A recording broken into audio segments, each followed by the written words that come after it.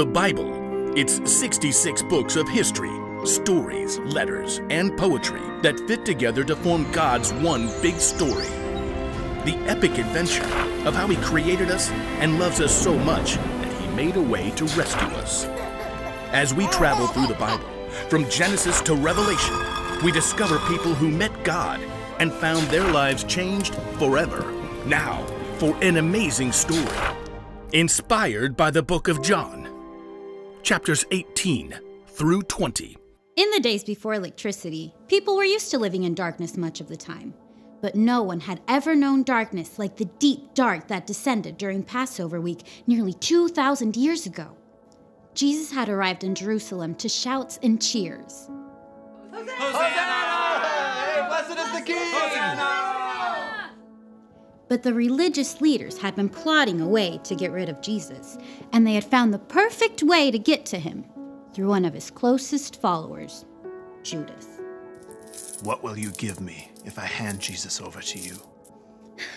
For 30 pieces of silver, Judas promised to betray Jesus, the light of the world. Darkness was coming, but Jesus wasn't surprised. After a special Passover meal with his friends, he told them, In a little while, you will no longer see me. Then, after a little while, you will see me.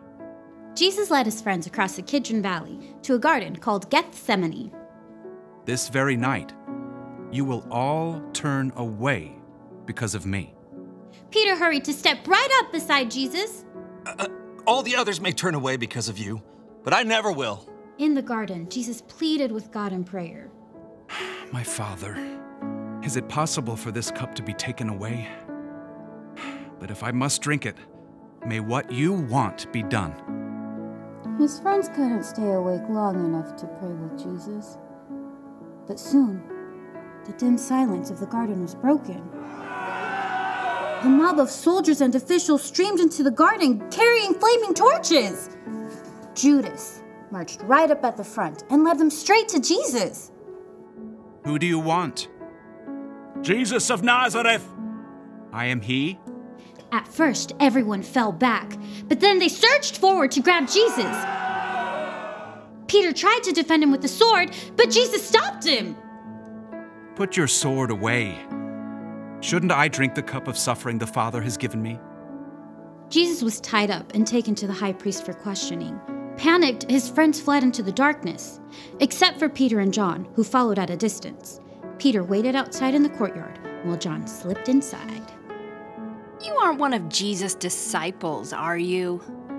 Peter, afraid for his life, froze. I am not. Inside, Jesus was put on trial and lied about by fake witnesses. Tell us if you are the Messiah, the Son of God. You have said so.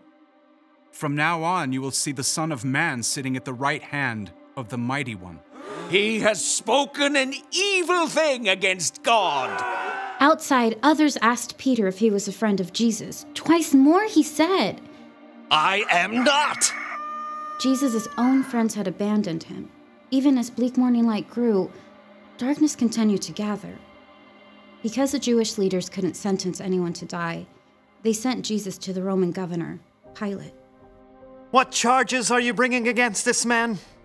He has committed crimes. Pilate questioned Jesus himself. Are you the king of the Jews? My kingdom is not from this world. I was born and came into the world to be a witness to the truth. Everyone who is on the side of truth listens to me. Pilate returned to the crowd. I find no basis for any charge against him.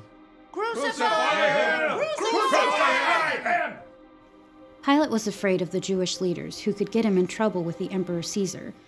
So he gave in, and Jesus was beaten.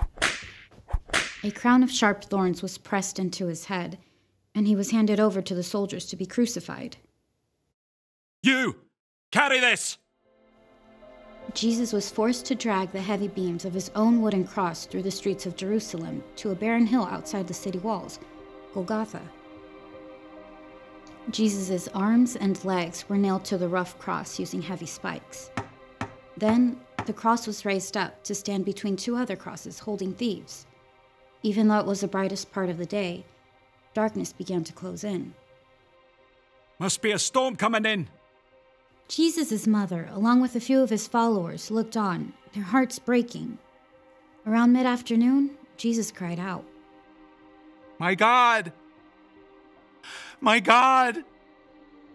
Why have you deserted me? It is finished. Then Jesus bowed his head and died. The earth shook. Rocks split open. The darkness of despair settled into the hearts of Jesus' friends. His body was taken to a nearby garden and placed in an empty tomb. A heavy stone was rolled in the way to block the entrance. Soldiers were even sent to stand guard during the long, dark night. But even in the deepest darkness his world had ever known, God was still at work. Early on Sunday, even before the sun rose, Jesus' friend Mary Magdalene crept to the entrance of the tomb. But when she got to the entrance, the heavy stone had been rolled away. It's. it's empty. Confused, Mary raced to find Peter and John. They too saw the empty tomb and returned home, still trying to understand. Mary stayed behind in the slowly growing light. Tears filled her eyes as she bent into the tomb to see once again. Oh! Two bright angels dressed in white sat where Jesus' body had been laid. Mary turned back to the garden, her breath catching in her throat. The rising sun nearly blinded her, but she could see a man standing there. Woman, why are you crying? Who are you looking for? At first, Mary thought this must be a gardener, but then he spoke again. Mary. Teacher! It was Jesus, alive! Mary threw herself at his feet. As the light grew around them, Jesus told her, Do not hold on to me. Instead, go to those who believe in me. Tell them, I am ascending to my Father and your Father, to my God and your God. Mary raced to find the others. I have seen the Lord. Through Jesus, God had defeated death forever. We can hope because in the end, darkness will never win.